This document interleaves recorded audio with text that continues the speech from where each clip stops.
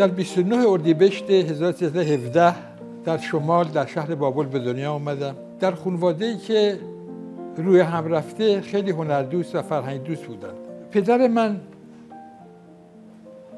موقعی که از تهران هنرمندا برای هنرنمایی اجرای برنامه میمدن به شمال شب اولی که در اون سالن برنامه اجرا می‌کردند قاعدتا شبهای بعد که فارغ می‌شدن از برنامهشون منزل ما بودند.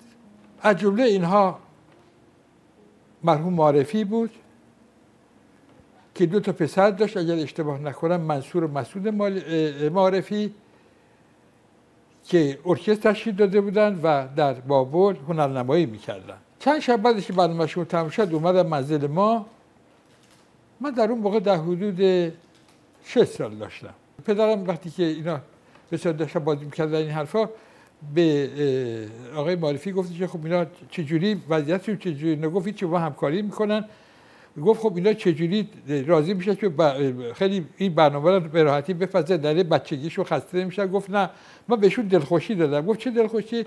گفتم هر شب وقتی برنامه براشون تمام من بهشون پول میدم بعد اینا دیگه این پول دارن. گفت همین گفت نه. بعد از اینکه پول دادم باشون میشنم تخته بازی می‌کنم این پول ازشون می‌برم. در شش سالگی مادرم خیلی علاقه من بود که ما تحصیل کرده بشیم من و برادرم. به این جهت منو یک سال زودتر مدرسه گذاشت به مدرسه تربیت گذاشت که من در اونجا بودم و یادم میاد که نازم ما یه شخصی بود به اسم آقای صابری و مدیرمون یه آقای بود به اسم توکلی یه همچین اسمی داشتن. بعد از اونجا اومدیم به تهران با پدرم مریض شد تنگی نفس داشت و موالیش دکتر اهل ملموش بود در تهران و هر چند قدمی که راه می‌رفت برای صندلی میذاشت تا بتونه به اون جایی که می‌خواد بره. مثلا برسه فلان حرفا مثلا برای دکتر بخواد بره. بعد سوار ماشینش می‌کردن میبردنش. خیلی جوون مرد از 53 4 سالگی 55 سال 6 سالگی در بیمارستان فوت شد. و ما به تهران اومدیم. مادر من به مدرسه کیهان برد که مدرسه مختلف بود. مدیر مدرسه خانم صفا از من امتحان گرفت. یادم میاد که ضمن این چیزا که امتحان گرفت سوال کرد گفت که پا تخته بینید که من سوار خط 24 شدم رفتم به بازار رفتم گردو خریدم هم چیزایی بود. و من اون چی که از این زن در درونم بوده و در ذهنم رسوب شده یک زن بی نهایت با شخصیت بی نهایت با کلاس. و من با تمام وجود بعدها احساس کردم که اصلا مدیریت تعلیم و تربیت فقط به این زن می‌خورد و بس. بعد سال سوم به دبیرستان دقیقی رفتم. سال چهارم همینطور پنجم به دبیرستان نشاط رفتم. و در اونجا معلم انشایی داشتیم آقای بدر باستانی. در اونجا مورد جالب اتفاق افتاد. یکی از اقوام من با سیاوش کسرایی یک شاعر دوست بود و او هم از گلچین گیرانی شعراش رو می‌داد به این فامیل من و این به من می‌داد و می اومدم سر کلاس می‌رفتم بالای نیمکت پنج ابتدایی و برای شاگردا اینو به اصطلاح دکلمه می‌کردم و حتی دوستان من شاید پس از 50 سال 60 سال این یادشون هست. از جمله که از دوستان من که تقریبا سه چهار روز پیش من تلفن کرد موقعی که مرحوم ابتهاج فوت شده بود یاد من افتاد. آقای دکتر حسابی من تلفن کرد که اتحاد من یاد تو افتادم. پس از تقریبا 68 سال 70 سال و اون خاطره ای که تو وقتی این شعر میخوندیم و تمام وجود گوش می‌دادیم شعر پرده پندار و باران مال گلچین گیلانی رو و چقدر لذت میبردیم.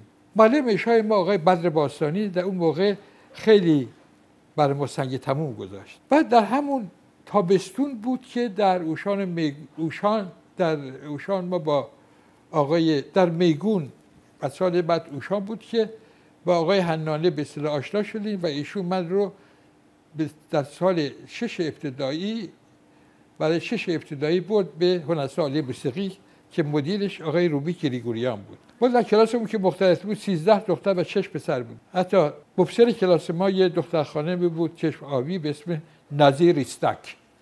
که مبصر ما بود.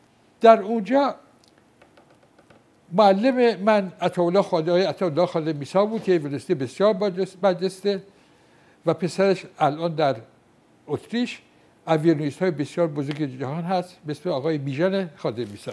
دوستی داشتم آقای منوچهر خطیبی که دو سه سال زودتر ما رفته بود.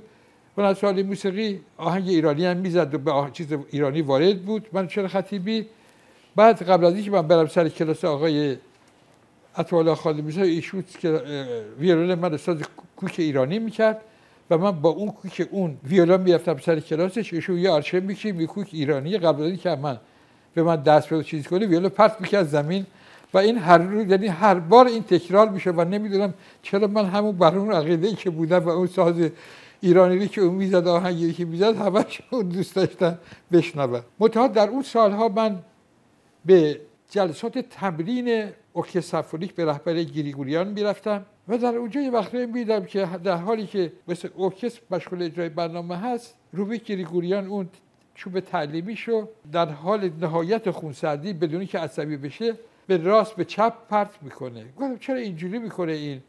این چه چیزی داره از نشونه گرفتن سر افراد این حرفا؟ بعدها متوجه شدم که علتش این بوده که اون کسی که این چوب به طرفش به اصطلاح می اومده سازش همخانی با بقیه ارکستر نداشته. به این جهت این برنامه رو پیاده می‌کرده به جز اون من از وقتی که چه کردم ساز زدن مادرم دیده بودم شاگرد درویش خان بود. و نمی‌دونم چرا ناخداگاه هر وقت که مشغول نوشتن مشقم بودم مادرم شروع می‌کرد به زدن تار. من ناخداگاه سرم بالا می‌گرفتم و دوست داشتم بیشتر بشنوم تا بنویسم تا کارم انجام بودم به این جهت همیشه سازش در گوش من در احتزاز بود. صدای سازش در گوش من همیشه در احتزاز بود. رفتم دیگه در دبیرستان ادیب و اونجا به دبیرستان رهنما رفتم و در اونجا هم معلم انشای من یکی آقای حسین قلی نصیری بود که یکم آقای بهبهانینیا بهتی بهبهانینیا که بی نهایت در وضعیت علاقه من به ادبیات موثر بودند. از سال دو سه ابتدایی مادرم تمام مجلات و مجلات به که منتشر می‌شد به طور معمول می‌خرید در اختیار ما میذاشت و در واقع او بود که بنیاد تعلیمات من از اوست. به خاطر اینکه در اون موقع شعرهای عباس یمینی شریف و بعدها داستانهایی که محسن فارسی می نوشت محمد علی شازی داستان رمان های تاریخی رو می و حسین قلی مستعان که اونها رو من میخوندم و نوس هم بعضی از اونها حتی اون نوول فالدومی حسین قلی مستعان. پس از سالها به یاد میارم اون رو و قابل هست که من اون رو به خاطرم برای همیشه به صورت وقتی زنده هستم. اون داستان فالدومی خیلی جالب هست که مادری بود که یه پسر داشته پسرش میشه خارج تحصیل بکنه دکتر مهندس چیزی پیش بیاد. برگرده به ایران ولی او میره تو رشته هنری و فلان و ویولون و ساز زدن و فلانی حرفا. و در تهران این کلاس باز می‌کنه کلاس خیلی می‌گیره. منتها این دختری که می‌گیره اصلا مطابق میل مادره نبوده و خانواده نبوده این. و اون یه دختر معمولی و خیلی پیش با افتاده می‌گیره. مادره میگه چرا اینو گرفتیم میگه ماما من فالدومی هستم. اون نوت هایی که داخل خطوط حامل هستند. همه میسر سیرفا هستن که روی خطن و من داخل خطوط حامل هستم. بعد دبیرستان ادیب و رهنوارم تموم کردم و در اون سالها مطالعاتم رو در رشته ادبی ادامه دادم. در کنکور دانشگاهی کشاورزی شرکت کردم. قبول شدم و در سال 39 1939 از دانشکده کشاورزی فارغ تحصیل شدم. رشته تحصیلی فارغ تحصیل فوق لیسانس در رشته باغبانی شدم. من بیشتر تکیه کلامم کلام هست. خود کلام هست. یعنی خود کلمه هست که بیارم. مثلا کلمه من رو باید بیارم چون من داره صحبت می‌کنه. اول مخاطب حاضر. منتها یه وقتی احساس می‌کنه که ممکنه این هم من به ازش تعبیر منیت بشه منم زدن. اما من در زندگی تابع این شعر هستم. چون همونطور که سالها در این رشته مطالعه کردم کوشش کردم از این بزرگان کسانی که طبقه الیت طبقه خالص جامعه تشکیل می‌داد و من شهر زندگی اونها رو نوشتم از اونها چیزی یاد بگیرم. حالا دو نمونه میگم و بعد میرم سر مطلبی که می‌خوام ادامه بدم. یکی اینکه موقعی که در مسابقه شرکت کردم شاید اول شدم به دو نفر بعد سازمان پارک ها مشغول به کار شدم که کارش رسیدگی به پارک های تهران بود. بعد از فوق تحصیل که شدم سال 1339 رفتم به اونجا و با زندل که مدیر مثلا کمپانی بایر بود مدیر فنیش بود آشنا شدم که اختلاف سن زیادی هم با من داشت. یادم میاد که اون موقع دختر 17 سالش در سوئیس تحصیل می‌کرد. آقای زندل میومد به پارک شهر و ما روی زنگ میخک و کمبود مرکبات کمبود آهن در مرکبات کار می‌کردیم. در روی یادم میاد کنار شاسی شاسی یه چیزی مثل گلخونه فقط به جایی که بالا باشه پایینه. تو خاک این شاسی رو درست می‌کنن که بیشتر به جنبه نباتاتی رو که احتیاج به رطوبت دارن گرما و رطوبت توامن دارن. گرم و مرتوب گفت که تو دانشگاه تو چند نفر بودن؟ گفتم 87 نفر. گفت که اگر این این حرف اون بود که گفت اینقدر اینو علاقه که به کارت داری و آگاهی که داری اگر هفت نفر از اونها مثل تو باشن وضع کشاورزی ممکن درست میشه.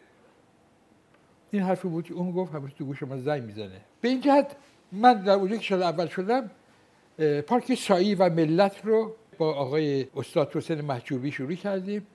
و ایشون طرحش رو می‌داد و من نباتات رو در اونجا پیاده می‌کردم. چون هم بود که نباتات ما بلوغ داریم نباتات هم بلوغ دارند. یعنی در یک سن و سالی که میگذره دیگه همون اندازه قد می‌کشن. مثلا درخت های راش یا مثلا آزاد که با این درخت های بسیار بلند رو در فیلم های خارجی می‌بینیم اینا مثلا در سعید بالا رشد بسیار زیادی دارن. به چندین متر می‌رسن که غیر قابل تصور هست. به اینجا مطابق با معبر این پارک ها باید نباتات رو پیاده کرد. یعنی هرچه عرض معبر بیشتر میشه مثلا درخت چنار مثل مثلا مال بزرگ راه ها و اصلا مال جاهایی هستی که عرض معبر پهن باشه. هرچی باریکتر میشه مثلا درخت ارمغان رو در حاشیه مثلا معبرهای خیلی با عرض خیلی کم مثلا چیز می‌کنم میاره بعد در اونجا به حال کار تحقیق هم رو اینا کردیم و بعد نکته که چیز هست این هست که جالب هست این هست که من در کنار اون حتی در کنار سالهایی که دانشکده می‌رفتم به معنای واقعی مطالعه روی ادبیات رو ادامه دادم و همش در حال یادگیری بودم. و این بینهایت در وضعیت مثل مغزی من وضعیت ذهنی من بسیار اثرگذار بود. چون همونطور که ما ورزش می‌کنیم. دستمون قوی میشه میدویم پامون قوی میشه. همونطورم وقتی که مطالبی رو می‌خونیم به حافظه میسپاریم. هرچه این عمل ادامه پیدا کنه وضعیت مغز بهتر میشه و احتمال اینکه دچار الزایمر بشه بسیار کمتر خواهد بود. بدون که حتی الان میگم مثلا شما جدول حل بکنید برای که فکر مغزتون کار بکنه ولی اون بسیار مؤثر بود. حتی یه وقتی که ما احساس می‌کردیم بر اساس بسیار زیادی سن ممکن دچار آزمون شده باشم. یکی از دوستانم که دکتر و متخصص این چیز هست تحصیل از نزدیک کار من میشسته گفت هر مرضی بگیری آلزایمر نمی‌گیری. یعنی من موقعی که شرح زندگی هدایت رو می نوشتم ردیف کاری میاد که در ابتدای هر کتاب یه جمله خیلی جالب از یه شخصیتی در ابتدای کتاب میاد. تا اونجا که میشه با روحیه اون شخصیتی که اصلی که در کتاب آمده بخونه. من یادم میاد وقتی 1330 در شهر بندرگز کتاب طوفان مکسیم گورکی رو خریدم و در اونجا یه تیکه توش بود که گورکی به شاگرداش درس می‌داد. یه داستانی بود که داستانی که ویلوبی قاچالیک که اسمی نقد کرده که به صلاح اون موقع گورکی به شاگرداش درس نویسندگی می‌داده. از جمله جمله هایی که میگه میگه نویسنده پرچمدار ملت است. او نباید دوشا دوش ارتش حرکت کنه او باید جلو باشد. این همینطور یادم بود تا پس از سال 1330 وقتی که من در حدود سال 1300 مثلا 75 76 شاید زندگی رات می بردم یادم بود که این حافظه من انقدر ازش راضی هستم و خوبم رد که پس از 40 50 سال رفتم اون تیکه توی کتاب طوفان پس از 40 50 سال آوردم و آوردم اونجا گذاشتم.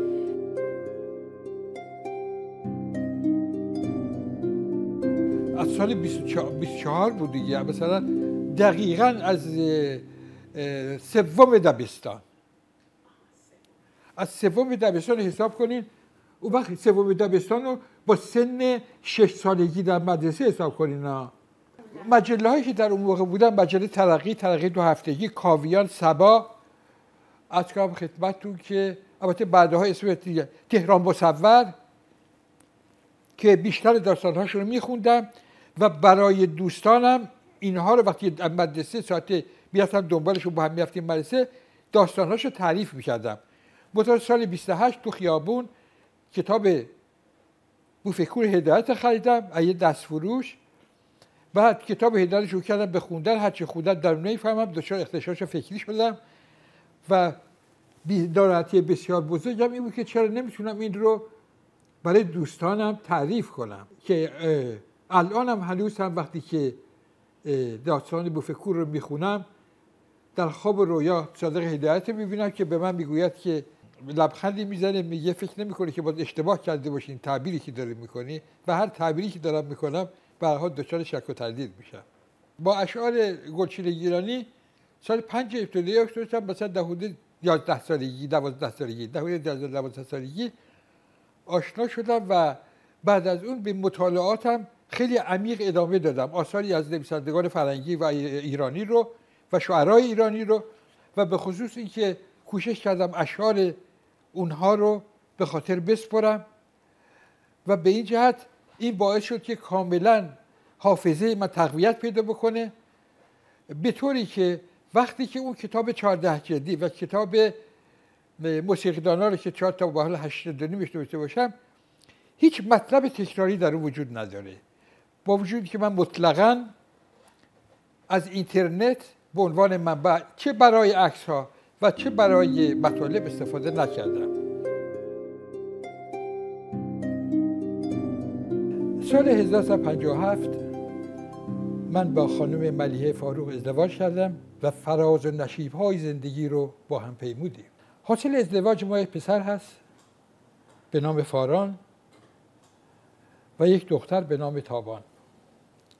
فاران از تابان یک سال حدود یک سال بزرگتره. اون طراح گرافیک و عکاسی حرفه‌ایه و یک دختر نوزاد داره. تابان و همسرش هر دو دندانپزشک هستند و پسری به نام شایان و پسری به نام کیان دارند که به مدرسه تیسوشان میرند. شایان نوازنده پیانو و کیان نوازنده سنتور هست.